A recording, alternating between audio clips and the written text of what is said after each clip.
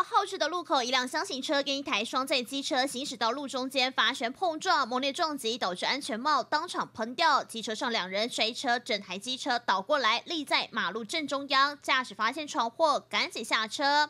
整台机车像是肋角一样，后照镜断掉，菜篮也撞到变形，厢型车驾驶座车门钣金凹陷。这起车祸就发生在河错街跟甘州街口，这个月七号早上八点多，现场是一个没有号志的路口，当时有个骑士发现厢型车要通过，有减慢速度，不过无姓女骑士骑机车载着小朋友，疑似没有发现有车要经过，继续直行，结果不慎跟厢型车酿成擦撞，骑士跟小朋友两人身上多处擦挫伤，送医后没有大碍。那么初步调查，双方都没有酒驾，不过肇事责任归属还有待进一步厘清。